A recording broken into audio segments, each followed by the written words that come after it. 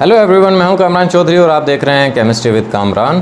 Concepts of chemistry के आज के लेक्चर में हम लोग डिस्कस करने जा रहे हैं एक इंपॉर्टेंट कन्वर्जन मिथेन की इथेन में कन्वर्जन अब आपकी इन्फॉर्मेशन के लिए बता दूँ कि जो लोग नाइन क्लास और फ़र्स्ट ईयर के स्टूडेंट हैं, वो इस लेक्चर को स्किप कर सकते हैं।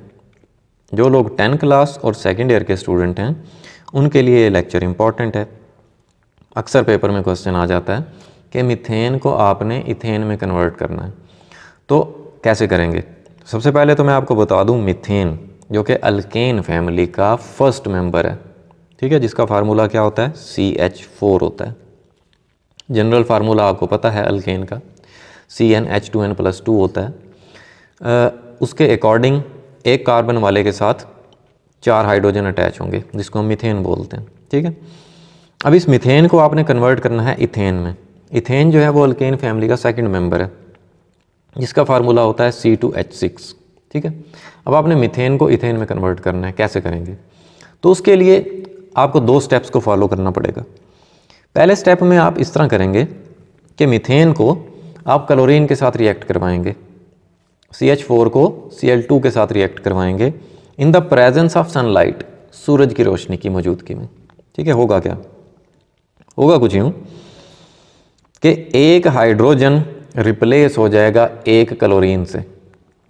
यहाँ पर जैसे आप देख रहे हैं कि एक हाइड्रोजन रिप्लेस हो गया एक क्लोरीन से तो C H three C L बन गया, जिसको आप बोलते हैं मिथाइल क्लोराइड।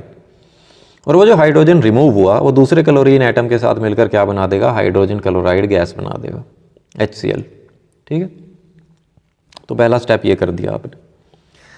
अब दूसरे स्टेप में क्या करना है? ये जो मिथाइल क्लोराइड बना, इसके आपने दो मॉलिक्यूल्स लेने हैं। दो मॉलिक्यूल्स मीन्स यहाँ पर नज़र आ रहा है आपको two C H three C L दो मॉलिक्यूल क्यों लेने हैं? क्योंकि एक मॉलिक्यूल में C H three C L के एक कार्बन है, जबकि हमने बनाना है इथेन इसमें दो कार्बन होते हैं। तो इस वजह से इसके दो मॉलिक्यूल यूज़ करेंगे। ठीक है? तो ये दो मॉलिक्यूल कहाँ से आएँगे? कुछ स्टूडेंट्स का क्वेश्चन होता है कि सर यहाँ पर तो एक मॉलिक्यूल बन रहा है। तो ये एक मॉलिक्यूल ये एक इक्वेशन आपको समझाने के लिए थी। इसी तरह से जितने भी मिलियंस ऑफ़ मॉलिक्यूल होंगे मिथेन के मिलियंस ऑफ़ मॉलिक्यूल्स क्लोरीन के होंगे, वो सारे के सारे यही काम कर रहे होंगे।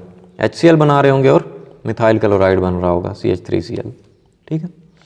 अब उन मिलियंस ऑफ़ मॉलिक्यूल्स में से हर दो मॉलिक्यूल दो सोडियम के साथ रिएक्ट करेंगे। क्या बना देंगे? सोडियम क्लोराइड और इथेन बन जाएगी फाइनली कैसे? कि यहाँ से एक C H three C L का मॉलिक्यूल एक क्लोरीन को रिमूव करेगा। वो एक सोडियम के साथ मिलकर सोडियम क्लोराइड बना देगा। इसी तरह दूसरा मॉलिक्यूल भी क्लोरीन को रिमूव करेगा सोडियम के साथ मिलकर सोडियम क्लोराइड बन गया। और जब दोनों मॉलिक्यूल्स में से एक एक क्लोरीन निकल गया तो पीछे क्या रह जाएगा? C H three C H three वो दोनों सी एच थ्री मिलकर आपस में क्या बना देंगे? इथेन बना देंगे। ठीक है? तो फाइनली आपने क्या कर लिया? मिथेन को इथेन में कन्वर्ट कर लिया। तो इस तरह से आप ये दो स्टेप्स को फॉलो करते हुए ये काम कर सकते हैं। होपफुली आपको क्लियर हो गया होगा कि कैसे हमने मिथेन को इथेन में कन्वर्ट करना है। तो ये शॉर्ट क्वेश्चन ही आता है। तो आपने इस तरह से ये दो स्टेप्स राइट कर देना ठीक होपफुली आपको क्लियर हो गया होगा। फिर भी माइंड में कोई कन्फ्यूज़न है, कोई क्वेश्चन है देन आप नीचे कमेंट सेक्शन में मुझसे पूछ सकते हैं।